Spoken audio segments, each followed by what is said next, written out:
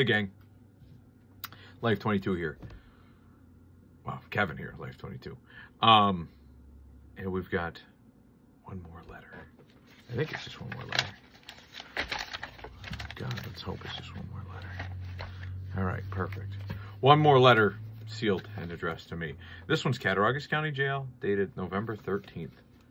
Oh, yes, because then we'll release the bonus footage. So, it's the Life 22 show again. The new prosecutor is on my side now.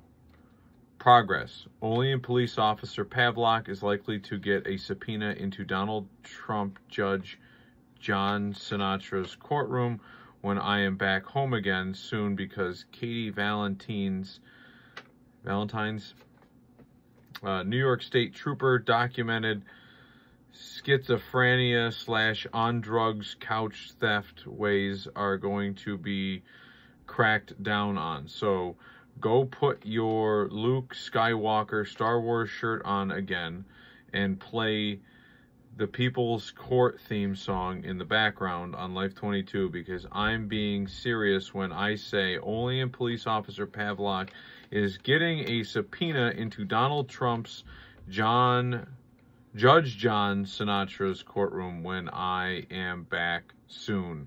And that is underlined.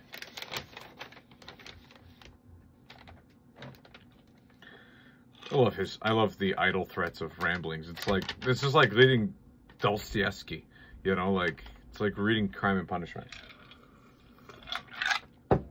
Amos Kraus is one of many people watching over my house while I am like this.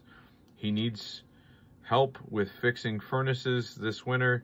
Just pay him cash. My mother, Janet McCall, gives piano lessons and knows how to directly reach Amos. So call her at 716-904-0849 and make money taking the used old satellites off her roof for scrap metal money.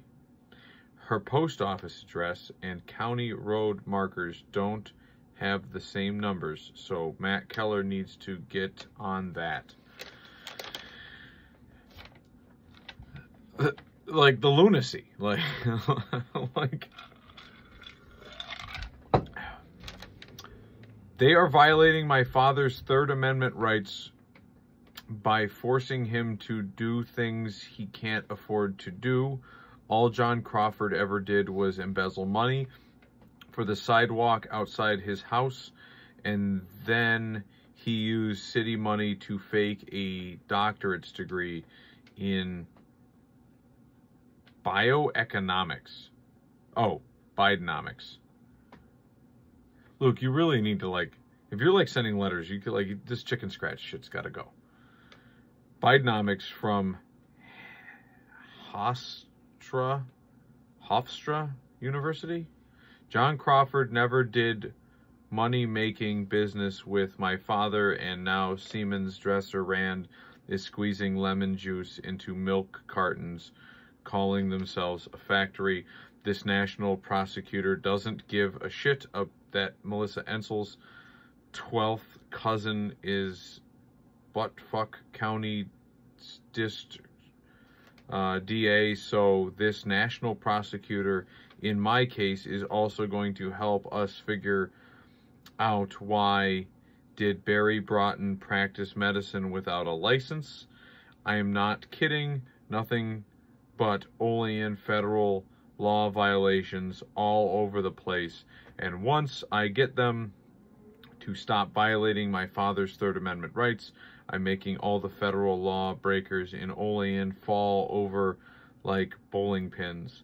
And Olean police officer Pavlock gets a subpoena into Donald Trump's judge John Sinatra's courtroom because Katie Valentine sugar bitches off everyone and she steals everyone's couches.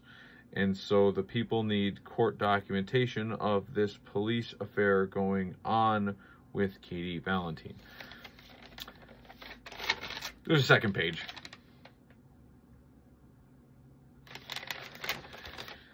I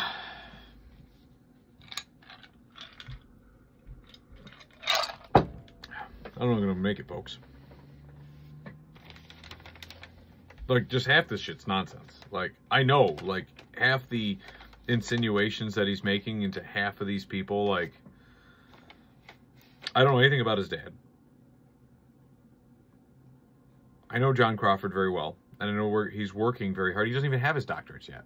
He's, I well, I mean, he may in the next, you know, um, whatever period of time, but I know he was working on his doctorates. So how is he faking something that he doesn't declare to have um, when you go back to school for your doctorate? So, like, just just nonsense. Barry Broughton is a is like he's he started his career in the military, and he be, he's he's a medic. You know what I mean? Like you, you, practicing medicine without a license. Like I, so, I don't know where half these claims are coming from. I don't know what he's talking about with Officer Pavlock. Uh, he loves throwing Doc, uh, Donald Trump in with the judge. So I'm guessing he he appointed the judge. Um, Katie Valentine, like if she's stealing people's couches, like she must have a warehouse because like Luke makes it sound like she's starting her own like Raymour and Flanigan's or something. Uh, but to the next page, I just I couldn't go without. Oh, I couldn't go without uh, like at least commenting. So Andrew and Christy at the Buffalo FBI are going to start giving FBI helicopter rides at the Winkyville reunion next year, too. I am fucking certain that is not happening. FBI agents just stealing helicopters to give your family helicopter rides? You must be that intriguing. At least they're just playing into your delusions, which is also something I would do at work if I was jammed up with you all day. So, Winkyville is American history, but ever since COVID hit, they became white trash. Let that sink in for a minute. Peggy Bergstrom weeks ha- wreaks havoc on every Winky marriage that ever happened, and she is a homewrecker thief, homewrecking thief lying to the Olean police on a constant basis. I had to be asked if I am good with Andrew and Christy at the Buffalo FBI, and I said yes. My two years of bullshit is not their fault. Watch me get them to help with cracking down in Olean's junkie stuff Kathy Patch always talked about. All that Alexis Costanza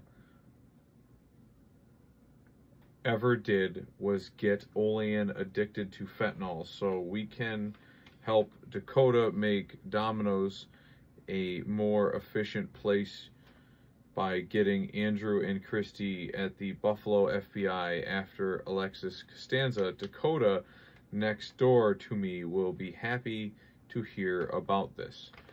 I am not, this is the next paragraph. This, I am not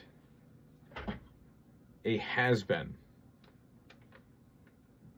He's not. He wants you to know that. He's not. He's not a has The shit talkers of Olean Warzone are has-beens. He wants you to know that. Uh, it is me who remembers Kathy Patch's Olean concerns. It is me who is becoming so goddamned federally networked. I will network everyone to fix Olean's shit. The federal probation officer can also help bring back 24-7 Walmart. Watch! what nonsense like i miss 24-7 walmart too like let's let's not let's not dwell on the past though like i doubt the probation officers that are talking to Luke Winkie are going to call the descendants of Sam Walton and open Walmart back up pre COVID. One more paragraph. I think I now also see Michael Crick of Salamanca Zoning Board becomes mayor of Salamanca. It was foretold. He didn't write that, but he's alluding to it. He knows very intimate details of my situation since July of 2020. So, bullshit.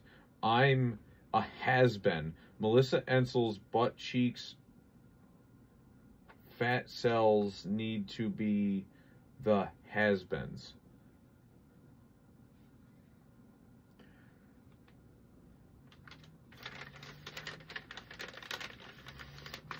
See, oh, big letters, big letters, folks, right here at the, the courtesy.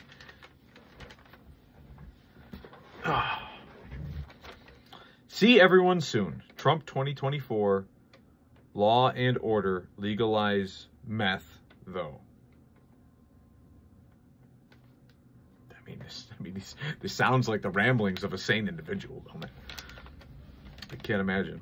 Uh, P.S. Paul Kenyon and Angel Lisette were 56 and 15 when they first got together. Okay, thanks, Luke. Luke Winky, permanently former, permanently former Cattaraugus County Libertarian Chairman. Well, I hope you're all smarter and wiser by another tale from the the crypts of Cattaraugus County Jail. We'll see you guys next time, Life 22, for another installment of the Luke Files.